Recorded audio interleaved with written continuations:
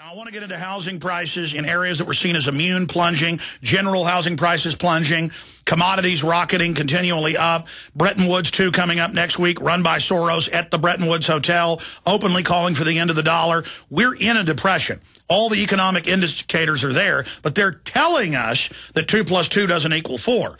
They're saying it equals whatever they want because, as Karl Rove said, they control reality. Well, as long as we bow down to these con artists and let them put their spell on us, they do. But the minute we realize they're pot-bellied scam artists, it's over.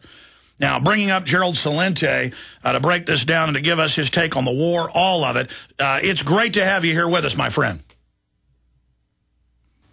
As, as, we look at the war, it's what we had said it was going to be. The first great war of the 21st century has begun. And there could be no doubt about it. You said that two years ago. How did you know? Well, because the, the global Ponzi scheme is collapsing. What happened was when the bailout bubble, uh, the bailouts began in 2008, we said when the bailout bubble bursts, the next thing they'll do is take you to war. It's history repeating itself. The song is the same, the tune is different. Figure it out. 1929, the Panic of 08. The Great Depression, the greatest recession. The only reason the recession hasn't turned worse in the United States is because of all of that digital money that they keep pumping into the system to keep the banks afloat. And then you look at the currency wars going on today. Hey, guess what? They went on back then. The next thing is trade wars and then real wars. So we're looking at what's going on over in, um, in, in the Middle East and North Africa this is also going on actually in the UK. You just saw, what, a half a million people take to the streets last week. The only difference is back in the European countries, as they're getting shafted, they're still living under the illusion that they'll be able to change it at the ballot box. They still believe in that. But over in these other countries, when you have dictatorial, autocratic, or, or monarchs ruling, they know that the only chance is to overthrow that government. And the globalists, by increasing food prices via dollar devaluation, knew the rebellions were starting, so they started the dominoes going themselves to try to put their new people in. And now in Egypt, the new government has banned all protest. What do you make of this, Gerald Celente? Fox News. Al-Qaeda leader dined at the Pentagon just months after 9-11 while he was on the most wanted list. Now Anwar al-Awlaki's in the news saying Arab revolts a boost for al-Qaeda, that it's great what's happening in Libya, and the CIA-trained leader of the rebels admits the core of their troops are al-Qaeda. So how do they have it both ways? Al-Qaeda bad, give up all your rights or they'll get you in the night. They're hiding under every bridge. They're hiding in your closet, under your bed, under your table, your coffee table.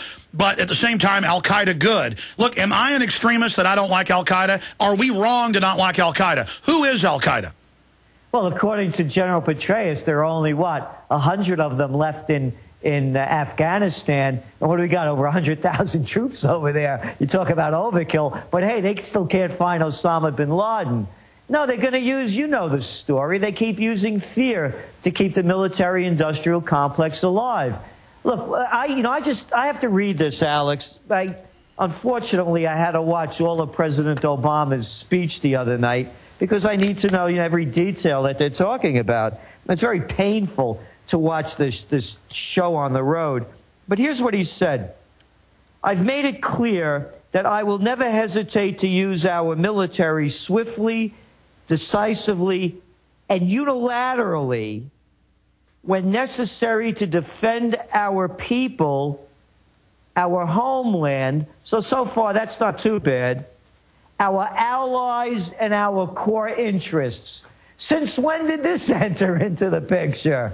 So, in, in effect, he's abrogated the Constitution.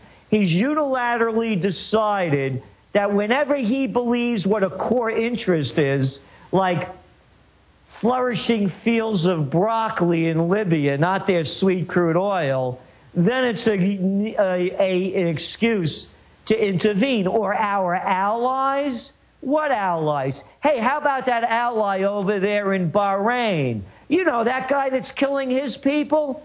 Don't talk about that one. Why not? Hey, couldn't be because the Fifth Fleet is there. Alex, they're getting us into war. The whys, the hows, and the ifs really don't make much of a difference because the story is going to change like that. How about this for a change of script really quick? Go back two weeks ago. Why did we get involved in Libya? I remember why. They said because the Arab League asked us. Oh, you mean the Arab Little League?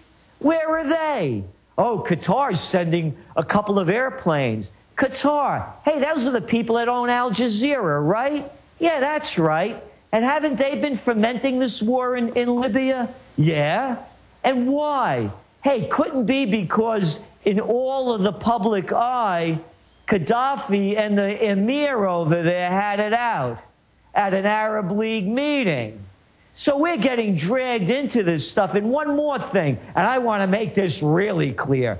You know how you hear all the time, you know, if only women were in charge, we wouldn't be going to war. I just read in the New York Times that toilet paper a record, as they would say in the Bronx, that the three people pushing this war after the U.S. military didn't want to get into it in Libya were none other than Hillary Clinton, Samantha Powers, who's the national security, and Rice over there at the uh, ambassador to the UN. These are the three women that pushed this war. So I'm tired of hearing this stuff that if only women were in charge. So when we're looking at this war, let's understand what it's really all about. It's about the same reason why we're in Afghanistan and in Iraq. All of the precious minerals and natural resources, pipeline routes through Afghanistan, and Iraq sitting on what? The second largest oil reserves in the world. And it's the same thing for Libya. People could care less about Libya if it wasn't about the oil, just like they don't care. As we're speaking now, the hypocrisy cannot be clearer. 450 people killed in the Ivory Coast. A million, a million are fleeing their homes as a civil war is breaking out. Hey, Obama, how about those human rights? Well, Kinda Gerald. out the door. Well, I mean, Gerald, look. The truth is, bombing all of Libya, keeping the war going, is going to exacerbate a humanitarian crisis. But but but what about the Orwellian level of the resolution saying it's not a war, the Pentagon saying it's kinetic military action, the 2,200 Marines, the thousands of British Marines, the Marine commander saying we're getting ready to go in on the ground, but it's going to be humanitarian. We're only going to be advisors helping with transportation, medicine, and giving weapons to them. So, so now a bombing campaign is not a war. Uh, now, uh, ground troops is not a war. And we're not even hearing about Fukushima, whose reactor number two went into full meltdown and melted out of its container down into the groundwater. Total Chernobyl now. And the government saying nothing to worry about. I mean, this is incredible. Heil Obama.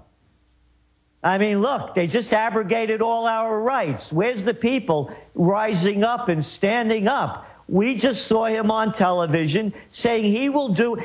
There were 22 eyes in his speech. I ordered this. I want that. I believe this. Hey, whatever happened to we the people? And I don't want to upset anybody now, but I thought that was part of the whole deal. No, we the people don't count for anything. You have these megalomaniacs running the White House, running foreign policy, and, and running the world. Whether it's Sarko, the little American over there, that little weenie Cameron, that little uh, that little uh, boy over there in, in the UK. I'm sick and tired of these people getting us into war. If they want to, quote, take out Gaddafi, go do it, man to man, woman to woman. We could balance the budget, put it on pay per view. Everybody will love Let's it. Let's put a 50 pound pack on Hillary and let her, with a parachute, jump out of an airplane over over Tripoli if she's such a commando. But but but going back to this, you're going to need a big parachute with another 50 pounds on that. but, but, but, but, I mean, Gerald, looking at this, uh, Obama, as you said, it's federal law. It's the Constitution. He had to get authorization from Congress. The, at least Bush got a, a, a resolution from Congress authorizing force. It was still an illegal criminal war. They've just dispensed with the Congress having any power, and the Congress is servile other than Ron Paul and Rand Paul and are just saying, great, we, we'll do whatever you say, uh, Der Fuhrer. Yeah, uh, Kucinich also came out against it. But you're right. And then that's exactly what's going on. And then read Obama's statement. I'm sure you have it back from 2007, December, at the Boston Globe when he was asked about uh, what are the uh, the war powers. He said Congress should always be consulted, the American people. The president can't do this on his own. Biden said that he would impeach Bush if he attacked Iran without congressional authorization. But now it doesn't matter. And now a lot of these liberals, they are liking war right now. They're feeling powerful. you know, that's that was what I was going to say next. The Wimpocrats are the worst. That quiche-eating grin and that balsamic smile when their guy does it, it's okay. You know, it's all right when Obama does, does it. They'll make up any excuse. If Bush was in there now, they'd be bashing Bush. You know, they're more disgusting than anybody. My line is conservatives believe liberals lie. You know, there are these wackos out there that say things like, we got to bomb Iran and get all them Muslims dead. I mean, these people actually believe that. The liberals have the intellectual capacity to know that they're lying to themselves. They know the facts, but they don't, because they're wimpocrats, they have no spine to admit that they've been had. And they're even more dangerous than the wackos, because the wackos, you know, you can tell. But the liberals, you know, they pretend to be sane. Now, I want to get into some other areas, but you did on this show, I remember two years ago, say that by 2011 or so, it'll be clear that it's a depression. Then they'll start a new war as a distraction. What comes next then uh, in your historical crystal ball? We're concerned really about a uh, whether it's a false flag or real, a terror strike. Look, everybody knows that Gaddafi's, you know, he's a megalomaniac. He's been in power for 42 years. He said he's going to go out as a martyr. So maybe before he goes out, you know, how about a little dirty bomb for Paris or some biological And they'll love that. That will legitimize the police state, legitimize the war in people's eyes, or they could stage one and say he did it. And now they're reporting 160 al-Qaeda nukes in America with no proof. Oh, yeah. You're like, they're all going to go off on, you know, Wednesday at 7.30 in the morning. You know, no, it's all this stuff, but they keep putting the fear card out there. But the reality, too, Alex, is the United States, the same day, the same day the United States bombed Libya, and the headline read 25 dead in Libya, and it was a response from the Libyans killing people. 50 were killed over in Yemen.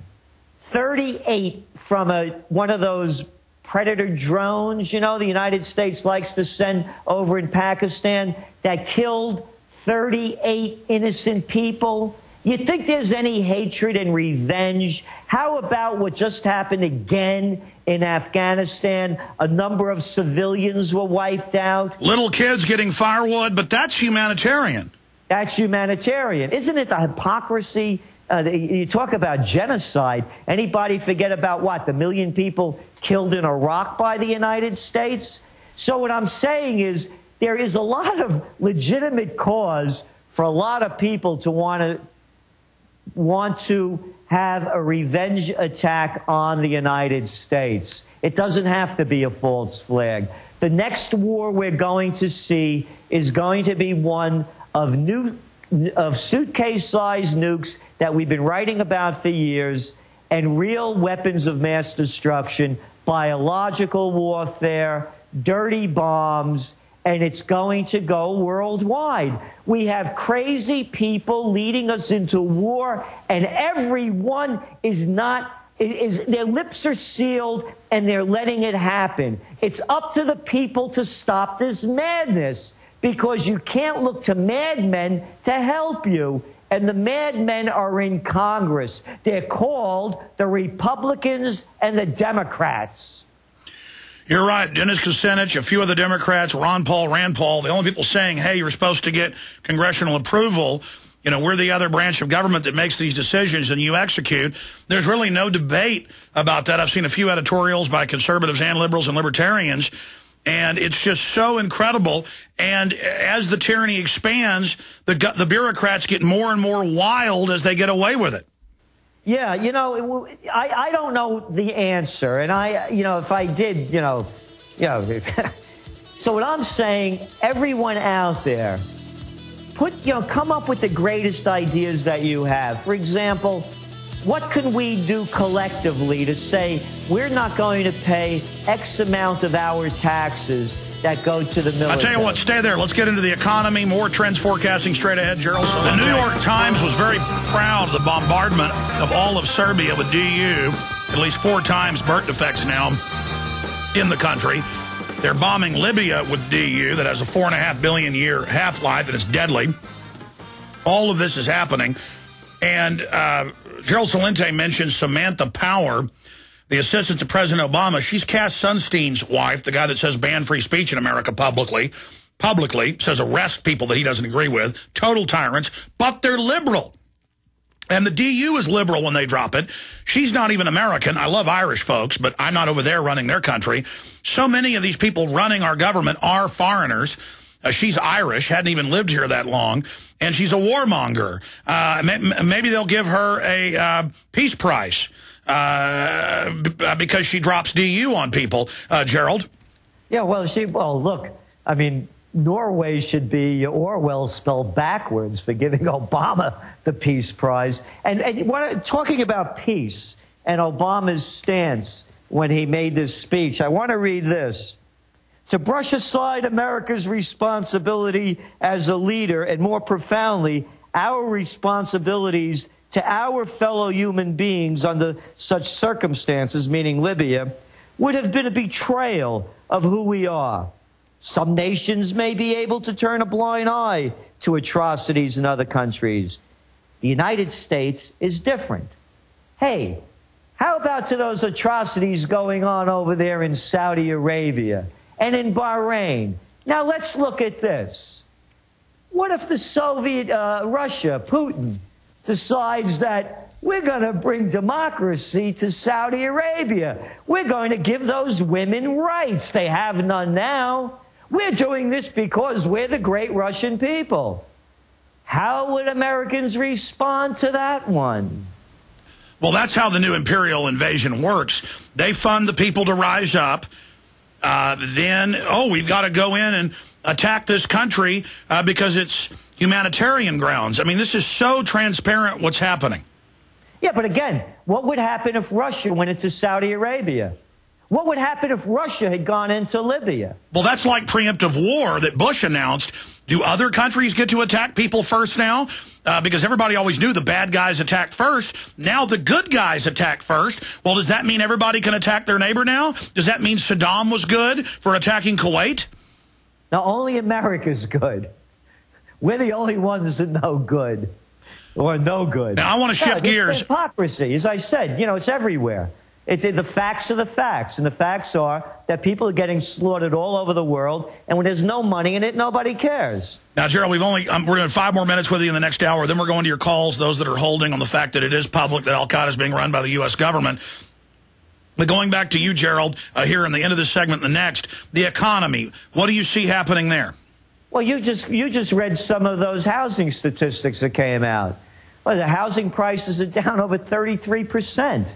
That's worse than Great Depression levels. We're looking at, we're, we're looking at volume that's going to last for years of empty homes. This isn't going anywhere. Uh, the, the only thing that's happened is, and again, you only go by the facts, that this recovery was, they said it from the beginning, was to save the too big to fails. They did it. The rich got richer and everybody else got poorer. This isn't, you know, a line. Let's look at the facts. 10% of the population controls 90% of all of the stocks, bonds, and mutual funds. 5% of the population controls 65% of all the wealth. You look at the numbers. Look at Christmas sales when they happen. Where was the big increase? The luxury items. The Ponzi scheme is collapsing. Madoff had an interview in New York Magazine in February 27th. Out of this whole piece of garbage, there were two lines worth listening. Stay there. Give us those Gerald, lines when I we come back. when When we first started interviewing you about four years ago, you said the next big bubble to pop was education. Now, you were called, you know, paranoid then. Now the mainstream media, the big hot thing is admitting that it's a big scam, a ripoff. Nine die in Alabama hospital because of infected IV bags. Uh, hundreds of thousands die a year because of hospital problems, bad drug interactions. But we've got to give all our rights up because the terrorist might attack us. But the real terrorist are the people that created the NASDAQ, like Bernie Madoff. But even a crook like him can tell the truth. Tell folks what he said.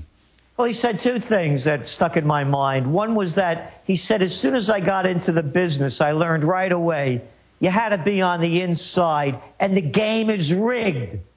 The game is rigged. That's Bernie's words, and he should know. Gabish, it's rigged. It's a sucker's bet. Number two, and this goes back to where the economy is going, he said the government is one big Ponzi scheme. The king of Ponzi should know about a Ponzi scheme. And that's what this is. The global Ponzi scheme is collapsing. That's why you're seeing all of these revolts going on. And as I said, when all else fails, they take you to war. Look what's going on over in Europe with the European Monetary Union. Portugal's toast. Greek is Greeks are cooked. Again, you, Tarpley, and countless other real economists, researchers, experts, years ago, named the countries, Greece, then Ireland, then Portugal, then Spain, then France, then Germany, then England, then the U.S., but instead the bankers are posing as the saviors for the crisis that they've created, and now the headlines are EU collapsing exactly as we knew it would uh, begin to. Exactly. So here's what they've done. Make this very simple. They keep pushing this money out to their buddies, as we saw with the, the uh, reporting from the one-time reporting from Dodd-Frank. And, and we found out $20 trillion worth of federal money. Here's the way it works. You're a bank. Here, Alex. Here's $20 billion. Get it back out into the system. You're going to give me 20 billion? Yeah, don't worry about it. No interest. You're my pal. When do I pay you back? Don't worry about it. Just get that money out there. Keep the damn game going. And they give it to Germany. They give it to Switzerland. They give it to France. They give it to General Electric. And you saw those numbers that came out. How much tax did General Electric pay? You know, so this is what they're doing. They keep pushing this money, and the EU is doing the same thing. The Maastricht Agreement, it ain't worth nothing. Listen, I have an employee who gets paid decent money, has great credit, had a bank account with JP Morgan Chase for seven years. He went in to get a little car loan, and they were rude to him, and the banker told him, you get nothing. And the hundreds of billions they've gotten in the bailout money, it goes to their bonuses, and they've cut lending when they're supposed to loan it out. They're hoarding it all because the worse the economy gets, the more they can buy up everything. You got it. And you look at the merger and acquisition uh, uh, uh, action going on now, it's increased. You know what I say? These guys are no more than money junkies. They can't get enough, and they want everything that you have. And, and they don't care if you're dying or you're dead. They're going to grab it from you. Look what, and talking about dying or dead, they want to increase now the, the retirement age till after you're dead. How's that? That'll work just fine. And by the way, in closing, fake conservatives all over talk radio say, don't do anything to the banks, they're free market. No, they're getting government welfare. They're running the government. And I'm so sick of these fake conservatives lying to their listeners and, and, and, and saying the bankers are good. Oh, and how about this one? In talking about balancing the budget?